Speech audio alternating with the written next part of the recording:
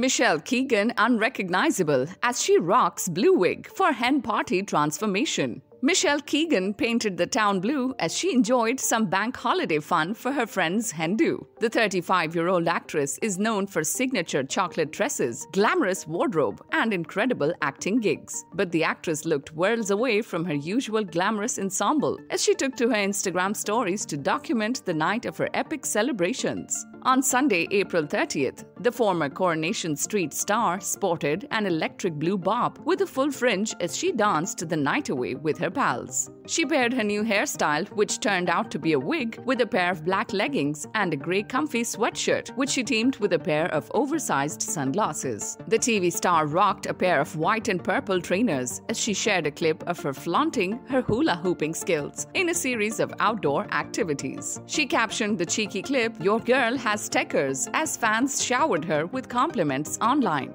Subscribe to our channel for the latest on your favorite celebrities. Like, comment, and share, and don't forget to press the bell icon for notifications.